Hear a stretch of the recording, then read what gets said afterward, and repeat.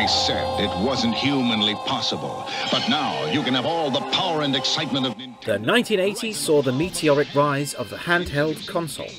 In 1989, Nintendo breathed new life into portable gaming, following up their aging Game & Watch range with the iconic Nintendo Game Boy.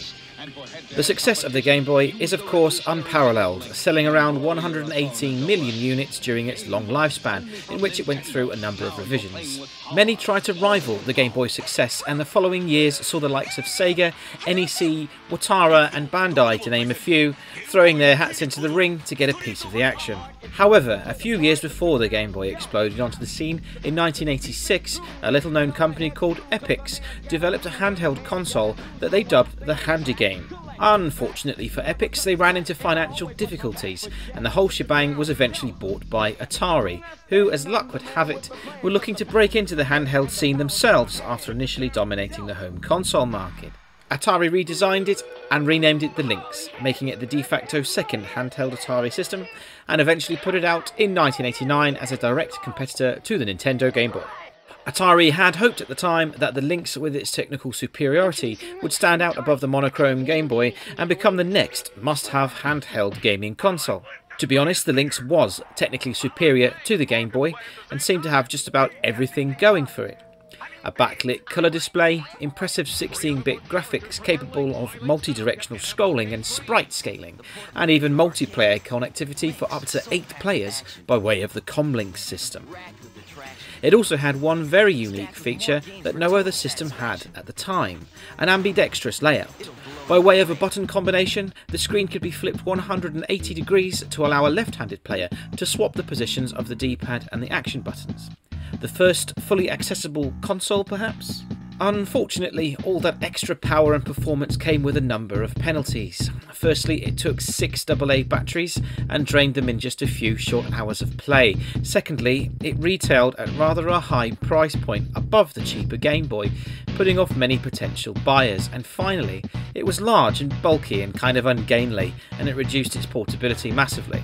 It could be said that it wasn't at all pocket friendly, in either sense of the expression. After an initially successful start, the Atari Lynx eventually failed to beat the more cost effective and portable Nintendo Game Boy and fizzled out after a few short years. Not even a more ergonomically friendly and cheaper Mark II model could save it from failure.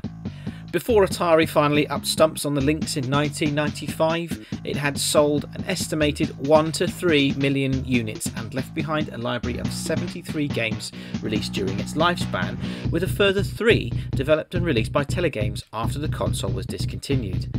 Although it didn't have quite as formidable a game library as the Nintendo Game Boy or the Sega Game Gear had, it still enjoyed a number of ports of well loved Atari arcade games as well as a fairly good roster of original titles. And so in this video, I'm going to share with you the 5 games that I think really rose to the top of the pile. In the making of this video, I found a renewed love for the Atari Lynx and discovered that I really was impressed by rather more than just 5 games. So this list has been tough for me to whittle down. As ever, this is my personal opinion, your mileage might vary, and I'm sure you're dying to get into the comments later on to remind me what I may have missed. So let's begin! 5 of the best Atari Lynx.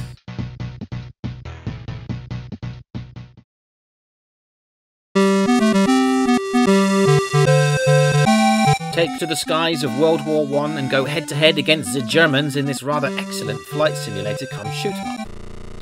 This one really demonstrates the Lynx's graphical capabilities. Ignore the shonkily drawn airplane sprites and instead marvel at the impressive sprite scaling and the speed and the polygon rendered landscape. As well as looking pretty darn good, it plays pretty darn good too. The aircraft handling is never too unruly as to be completely out of your control, Initially, you'll start flying wildly, but once you become accustomed to the physics of the plane, you'll be flying like a pro in no time. A very neat touch is the ability to look around in all directions in order to get a bead on your quarry so you can fill him with lead and send him crashing down to the ground. The game is extremely customisable, giving you the option to set damage and collisions off, choose unlimited ammo, as well as the choice of a selection of scenarios to play out.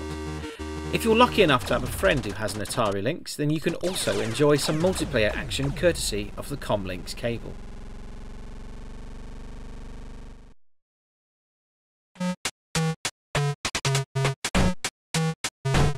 Yeah, no console would be complete without the obligatory Tetris-alike puzzle, and the Lynx is no exception. This is a port of Atari's arcade title and translates pretty well to the small screen. The aim is to clear the blocks as they fall into the well by completing a layer at a time. Rotate the blocks through all directions and drop them into place. It's easy to grasp and of course difficult to master. Again it comes with a wide range of gameplay options to increase or decrease the challenge. In the more difficult settings, the blocks can change in shape dramatically, making the task of tessellating them rather more brain-bending than a run-of-the-mill Tetris. I enjoy this one because it's visually impressive and an honest-to-goodness puzzle. It has a certain degree of customizability, if that's even a word, to change the size of the grid and the shapes of the blocks, to tailor your experience to suit you. Bit of a complaint, in order to rotate the blocks you need to press the A and B button simultaneously. If you don't get that button combo dead right, you'll accidentally drop the block instead. Never mind, a small complaint in what is otherwise overall a very enjoyable game.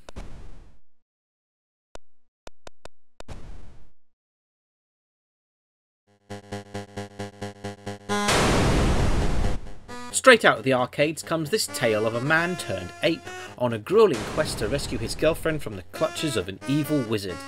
Yeah, don't think too much about the plot, okay? You're a monkey man and you kill your foes with spitballs, alright? What more could you want?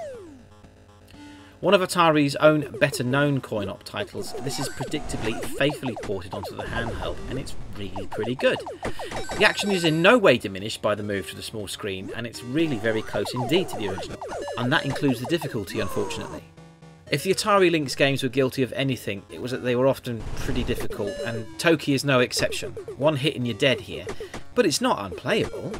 You can progress well enough through the game once you remember enemy attack patterns for instance, and you do get an adequate amount of continues to keep trying. It's fun, it's humorous, and it's colourful and it's challenging. I particularly like the music, which is quirky, never really gets all that irritating. The levels are gorgeously detailed and run the gamut from platforming to underwater levels. If you enjoyed the arcade version and you haven't yet played this, go ahead and give it a try.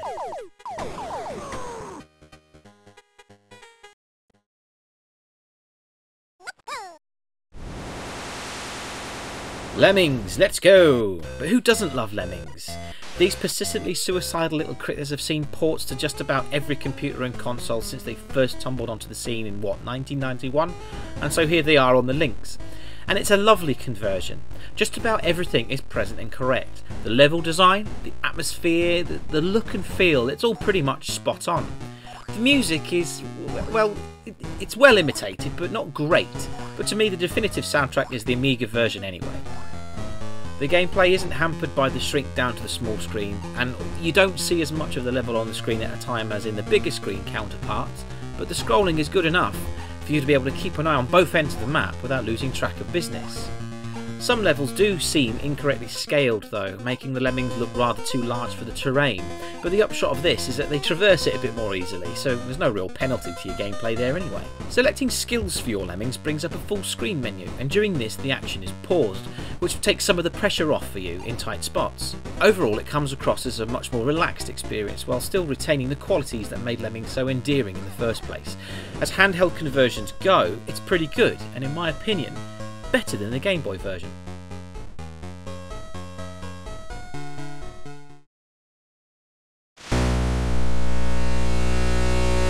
Boy, I really do enjoy this game. Again, it's a port from the arcade, but really rather a well done one. The name of the game is to complete successful runs of increasingly more challenging and dangerous tracks, picking up items, shooting obstacles, etc. as you go.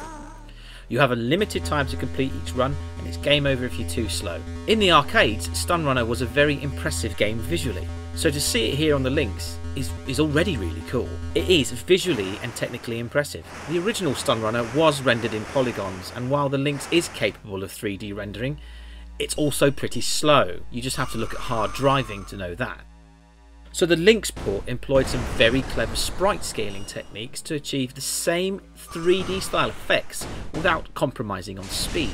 And this game is all about speed. You have to be as fast as you can and there's no break unless you hit something and you've got to rely on your reflexes to dodge the obstacles and hit the boost pads to reach your goal in time. Maybe the only thing that lets it down is the sound. I mean it's great to hear the digitised speech in a Lynx game but it's not very clean sounding. Some of the sound effects during play are, are a bit iffy too, but it definitely doesn't diminish the gameplay. It's fast, it's furious, it's replayable. And it's a faithful port from the arcade to boot. So faithful, in fact, that the digitised speech was lifted wholesale from the coin-op version. Listen carefully and you'll spot it when the game tells you to use the start button for your shockwave, as that was in fact the arcade control scheme and not the same on the Lynx. Press A button to follow shockwave.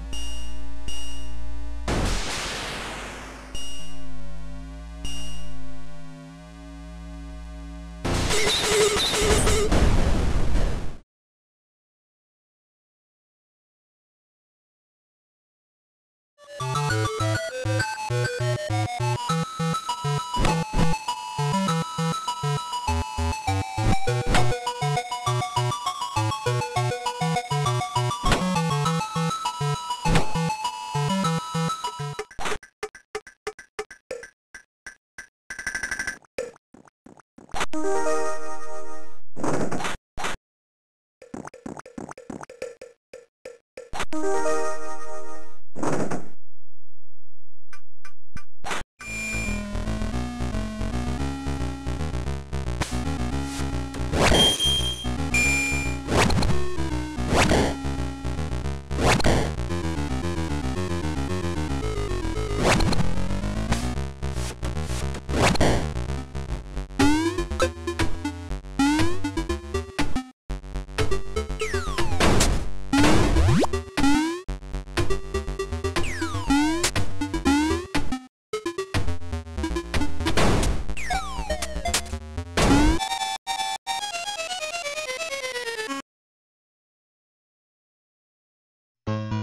so that was my 5 of the best Atari Lynx games. As I stated earlier, these are purely my personal opinion, and there's every chance you might not agree. If you reckon I made a cruel omission, or you would like to share a favourite of yours, drop me a comment below.